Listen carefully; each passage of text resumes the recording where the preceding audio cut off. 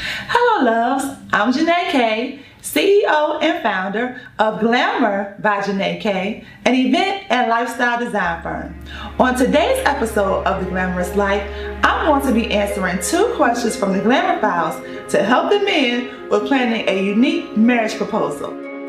Okay, so here's a question from Jackson.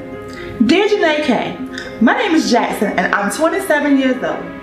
I plan a trip to Barbados for my girlfriend's birthday, but what she doesn't know is that I'm also planning to propose. Nice touch, Jackson. She has no idea what I am up to and I really want to blow her away. Do you have any ideas? Well, of course, Jackson, but first I want to say that you've done an amazing job with your planning thus far, but let me help you take it a step further. First, I recommend that you contact the resort's resort restaurant and find one of the most luxurious restaurants on the beach. Have them plan a private, intimate dinner for you on the beach and make sure it's near the water. Next, contact the resort's excursion division and have them get professional parasailers to carry a banner across the sky that says, Will you marry me?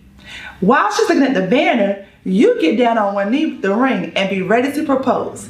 How's that for a fascinating proposal?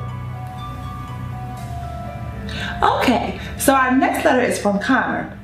Dear Jenai K, my name is Connor and I am a 30 year old business executive and totally clueless when it comes to romance.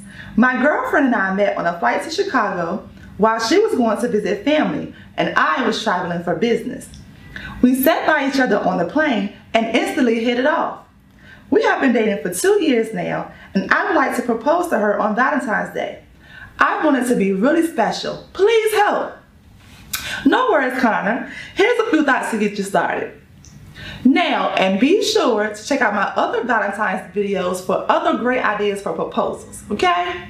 All right, so the first thing is this, Connor. Think about your girlfriend's personality. What are her interests, her likes? What does she like to eat? What's her favorite color? What does she shop? This will definitely get you on the right track with planning the perfect proposal. Next, think about a perfect sentimental gift. Make sure it's very thoughtful and shows just how much you care. Last but not least, choose a location that's very special and unique to you and your girlfriend and your unique love story. I hope that helps, Connor. So there you have it, loves. A few great ideas for a unique marriage proposal.